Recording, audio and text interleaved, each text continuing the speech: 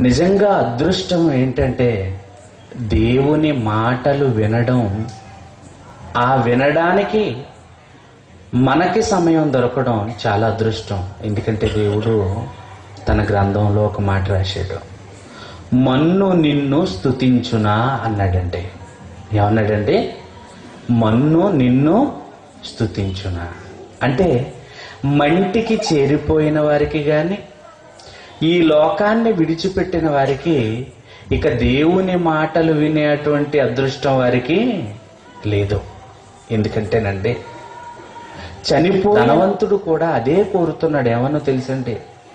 నాకు ఐదుగురు సహోదరులు ఉన్నారు వారికి నువ్వు ఎవరిని పంపించి వాక్యం నేర్పించమంటున్నాడండి? లాజరును పంపించి అంటే తన నేర్చుకుంటానంటున్నాడా వాక్యాన్ని ఇప్పుడు? భూమి మీద ఉన్న వారికి నేర్పించమంటున్నాడా?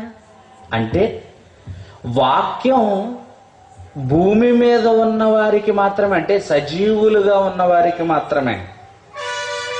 మరణించిన తరువాత ఇక వాక్యంతో పని ఎవరికి కూడా? కనుక ప్రియమైన దేవుని పిల్లలారా వాక్యం వినడం అంటే చాలా అదృష్టంగా భావించాలి మనం అంతా